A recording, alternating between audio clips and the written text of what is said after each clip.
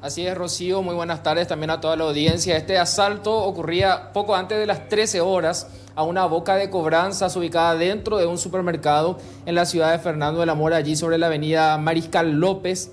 Llegan eh, asaltantes armados con tapabocas, lentes ingresan hasta, este, hasta esta boca de cobranzas y es ahí en donde perpetran este golpe. Se tiene la información de que un cómplice aguardaba a los delincuentes a bordo de un vehículo afuera y en cuestión de segundos cometen el golpe y luego huyen, pero ya estoy aquí con uno de los intervinientes aquí en la comisaría 53 Central, el oficial José Alderete, para pedirle algunos detalles sobre la actuación de estos delincuentes oficial, qué es lo que ocurrió esta tarde. Sí, así mismo como usted mencionó, eh, nos constituimos hasta el lugar referente a una llamada radial sistema 911, eh, donde fue atracado la boca de cobranza, así como usted mencionó, eh, Itaú. Pagos Press. Oficial, hay imágenes de, seguridad en donde se ven que estos delincuentes ingresan, parece, a un lugar equivocado, luego van a la boca de cobranza. ¿Cuál es la información que usted maneja? Sí, así mismo estábamos haciendo las averiguaciones correspondientes y se visualizan que aparentemente ingresaron eh, en la sala de monitoreos del supermercado y posterior atacaron la boca de cobranza desde la ventanilla. ¿Estaban armados? ¿Cómo actuaron? ¿Hay víctimas? Eh, ¿Cuáles son los detalles que se tienen hasta el momento? Violencia de por medio no hubo, así como tampoco daños materiales. Eh, la cajera nos manifestó que uno de ellos sí portaba arma de fuego y que se le solicitó la, la suma de dinero, la recaudación del día. Y no se sabe todavía hacia qué lugar huyeron, eh, porque eh, es un lugar donde puede ir hacia, hacia cualquier parte, hacia San Lorenzo, hacia Asunción. Según el circuito cerrado, eh, agarraron la avenida Mariscal López con dirección al centro de Asunción. Iban en un vehículo Toyota IST, tengo entendido.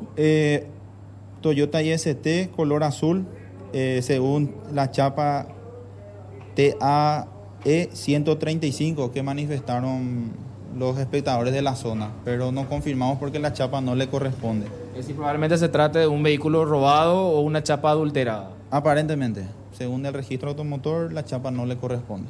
¿Los encargados de la empresa todavía no dieron tampoco un monto aproximado de lo robado? Todavía no, es un monto a determinar tras auditoría contable. Perfecto, oficial José Alderete. Estos son los detalles. La investigación continúa, ya está interviniendo también la Dirección de Investigación del Departamento Central. En resumen, tenemos estos dos delincuentes que ingresan a esta boca de cobranza y el cómplice lo guarda en todo momento y luego de perpetrar ese asalto finalmente huyen. El monto todavía a confirmar, se está guardando el arqueo por parte de los encargados de esta boca de cobranzas.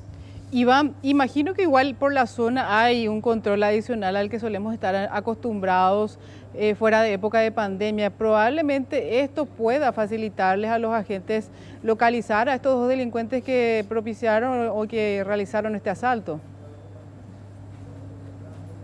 Exactamente. Ahora, lo que me comentaba también el oficial, eh, eh, llama la, la, atención la forma y la rapidez con lo que actuaban y una cuestión que complica un poco lo que tiene que ver con la identificación de estas personas es que utilizaban tapabocas, lentes, kepits. Antes llamaba la atención ver a una persona con tapabocas, pero ahora, dada la situación actual, eso no llama la atención y es una cuestión que ya claramente está siendo aprovechada por los delincuentes como lo hicieron este mediodía. Qué notable, en serio, qué bárbaro. Pero bueno, eh, Iván, y la, moto imaginamos que no tenía chapa, ¿verdad? O sea, no tenía ninguna característica adicional al, que, al ser una moto y nada más. Es un vehículo Toyota IST que tenía una chapa, pero no coincide con un vehículo de esa marca, por lo que se ah. presume que la chapa es adulterada o el vehículo ha sido robado, pero va a ser muy importante el seguimiento de cámaras de seguridad que pueda realizar la policía porque se sabe que fueron hacia la zona del centro de Asunción. Quizás con otras imágenes del 911 y comercios que puedan colaborar se pueda ver finalmente hacia dónde fueron o si eventualmente luego terminan abandonando este vehículo, que suele ser la forma en que opera este tipo de, de banda de delincuentes. Gracias, Iván, por la información.